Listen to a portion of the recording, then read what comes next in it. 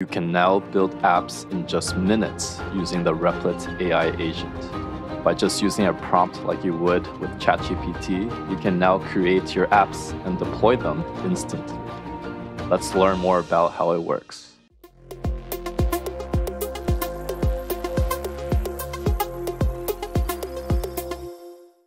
If you're new to my channel, I teach robotics and AI and have consulting as well. Check it out at kevinwoodrobotics.com. So the way this works is you want to go to the website Replit and you want to create a prompt. So here our prompt is create an app that shows a map of a local landmark based on my location.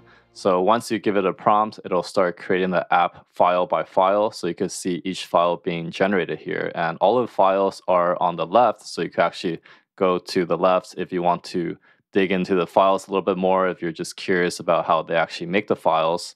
Um, so this is a great way as a learning tool, or if you're just mainly concerned about creating an application, then that's good as well. But you can see right here that this is a final app that it created, and it did pretty good for just the first run. And if you need any sort of modifications, you could go ahead and keep prompting it for new things.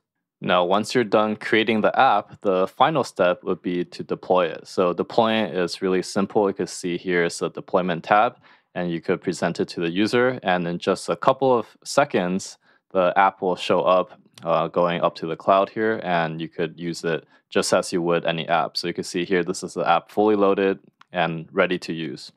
Now, if you want to check it out for yourself, go ahead and go to the replit.com slash pricing and you could check out the plan that you want. So the one that you just saw requires $10 a month, uh, but there's also a free starter one if you just want to tinker with Replit. Okay, so you found this video helpful, give a like and subscribe, and I'll see you in the next one.